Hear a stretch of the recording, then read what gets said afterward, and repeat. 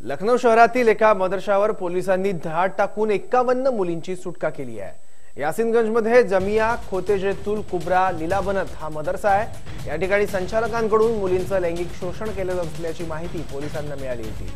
या माहितीच्या आधारे पोलिसांनी कारवाई केली. यावेळी मदरशाचा संचालक मोहम्मद तय्यब झिया याला ताब्यात घेण्यात आलं. त्याने या एकावन्न मुलींना मदरशात डांबून ठेवलं होतं असं पोलिसांनी सांगितलं आहे. गेल्या अनेक दिवसांपासून हा प्रकार सुरू होता. अखेर शुक्रवारी दुपारी मदरशातील मुलींनी खिडकीतून काही चिठ्ठ्या खाली फेकल्या. या चिठ्ठ्या स्थानिक लोकांना मिळाल्यानंतर त्यांनी पोलिसाला कळवलं.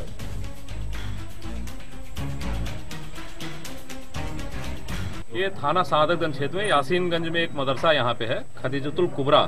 जी। इसका नाम है मदरसे का और इसका संचालक मोहम्मद तैयब जिया नाम का आदमी है। जो कि इसका संचालन कर रहा था मदरसे का। इधर आज इसके खिलाफ मदरसे के खिलाफ कुछ लोगों ने शिकायत किया कि यहाँ पे छात्राओं को जबरन बंधक बना करके रखा गया है और उसमें छात्राओं की कई कई तरह की कंप्लेंट यहाँ पे है इसमें। और इस पर इस शिकायत को तुरंत गंभीरता से लेते हुए हम लोगों ने एक ज्वाइंट टीम बना करके एडीएम सिटी वेस्ट और एसीएम साहब हैं हमारी टीम और दो तीन सीओ और थाना प्रभारी। यहाँ पे मदरसे पर रेड किया गया।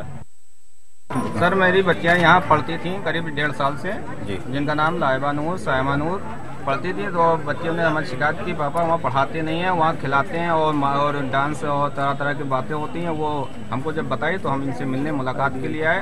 तो कहने लगे, ये मदरसा नहीं, हमने पूछा, ये मदरसा है तो मदरसे में दीनी तालीम और दुनियावी तालीम होनी चाहिए। उन्होंने कहा, दीनी तालीम, दुनियावी तालीम नहीं, मैं जो चाहूँगा वो होगा।